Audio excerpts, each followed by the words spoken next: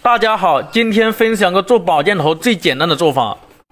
我们这个包边条它是两寸宽的，我们烫好了之后，我们中间对半折，找到一个中心点，然后在中心点位这个位置，我们画上一个记号，然后我们这样子折过来，上下点位重合，我们这个地方我们先固定一下。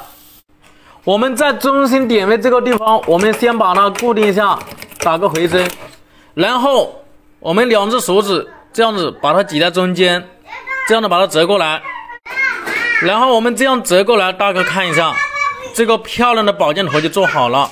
然后我们再压上一道线，我们直接压两分线，这样我们走到线给大家看一下效果。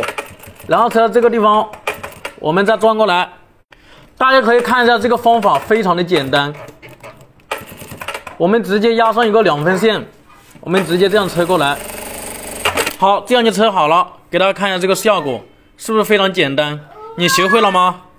如果这个视频对你有帮助，能不能给个双击？